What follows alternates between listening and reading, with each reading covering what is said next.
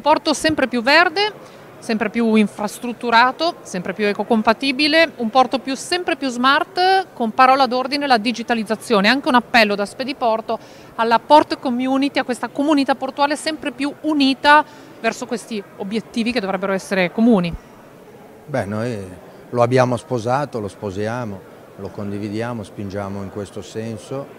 È importante supportare l'attività dell'autorità del sistema portuale che ha ingenti capitali da spendere, da mettere a terra, ante PNRR, no? visto che ora va di moda parlare.